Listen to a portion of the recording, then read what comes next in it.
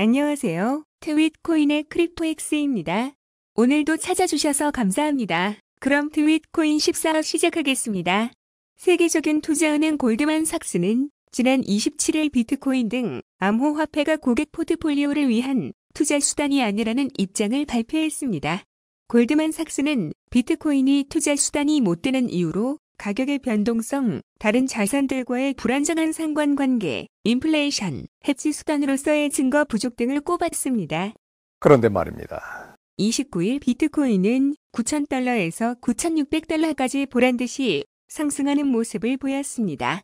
암호화폐 거래소 제미니의 창업자 윙클보스 형제는 트위터를 통해 골드만삭스가 비트코인을 투자 자산으로 인정하지 않는다고 평가했지만 이후 이틀간 비트코인 가격은 500달러 상승했다며 골드만삭스의 비트코인에 대한 평가를 비판했습니다. 그러자 비트코인 비관론자로 유명한 피터 시프는 30일 골드만삭스의 비트코인에 대한 부정적 평가에도 비트코인이 상승하고 있는 것은 고래들이 시장 조작을 하기 때문이라고 지적했습니다. 또 그럼에도 바보들의 공급은 줄어들고 있고 비트코인의 피라미드식 계획을 유지하기 위한 기관 투자자들의 유입은 가능성이 높아 보이지 않는다라고도 말했습니다. 두 번째 소식입니다. 비트코인 전문가이자 옹호론자인 존 맥아피가 비트코인에 대한 비판을 쏟아냈습니다. 2020년 비트코인이 100만 달러에 달할 것이라며 예찬하던 때와는 상반되는 모습인데요.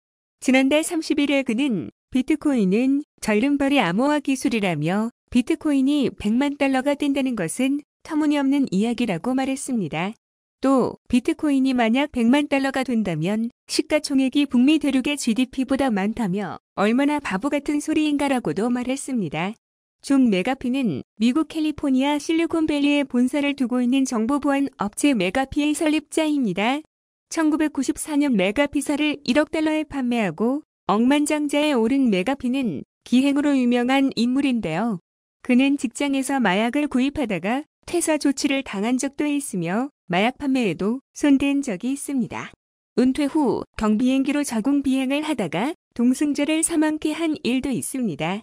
2012년에는 그와 충돌이 있던 이웃이 살해당하자 경찰은 메가피를 살인 용의자로 지목했고 그는 경찰의 추적을 피해 도망자 신세가 되어 떠돌다가 과테말라의 한 호텔에서 경찰에 체포되었습니다. 하지만 다행히 그의 알리바이가 성립하면서 풀려나게 되었습니다. 그는 2008년 세계 금융위기 당시 리먼 브라더스사가 파산하면서 엄청난 투자금을 잃었으며 메가피사를 매각하고 받은 1억 달러 중 400만 달러를 제외한 모든 자금을 탕진했습니다. 그런 그의 인생의 전환점이 된 것이 바로 블록체인 기술이었습니다. 맥아피는 2017년 뜨거운 감자였던 비트코인에 열렬한 지지를 보내면서 비트코인 옹호론자로 주목을 받았는데요. 2017년 세상을 바꿀 알트코인들을 트위터에 공개하며 팬들과 지지 세력을 모으게 됩니다. 당시 맥아피가 소개한 알트코인들은 대부분 좋은 성과를 거두면서 유명인사로 거듭나게 됩니다. 그랬던 그가 2020년 1월 돌연 비트코인이 쓰레기 코인이라면서 비난을 시작하는데요. 이유가 정말 궁금합니다. 세 번째 소식입니다. 트위터에서 가장 영향력 있는 암호화폐 유명인사를 찾아봤는데요. 1위는 저스틴 선트론 CEO가 차지했습니다. 비교적 늦은 2017년 8월에 트위터에 가입했지만 왕성한 활동으로 팔로워 200만 명을 넘기며 1위를 차지했습니다. 2위는 바로 앞서 소개해드린 존 맥아피입니다. 팔로워는 108만 2천 명입니다. 3위는 이더리움의 창시자 비탈릭 부테린입니다. 팔로워는 91만 1000명입니다. 4위는 라이트코인의 창시자 찰리 리입니다. 팔로워는 82만 5천 명입니다. 5위는 벤처 투자 매칭 플랫폼 엔젤리스트의 창립자 나발 라비칸트가 차지했습니다. 팔로워는 87만 2천 명입니다. 6위부터 10위에는 안드레센 호로위츠의 마크 안드레센, 유니온 스퀘어 벤처스의 프레드 윌슨, 비트코인닷컴의 로저 버, 안드레센 호로위츠의 general partner인 크리스 딕슨, 베스트셀러 작가이자 비트코인 전문가인 안드레아스 안토노플로스가 이름을 올렸습니다. 그럼 오늘의 트윗코인은 여기까지입니다. 시청해주셔서 감사합니다.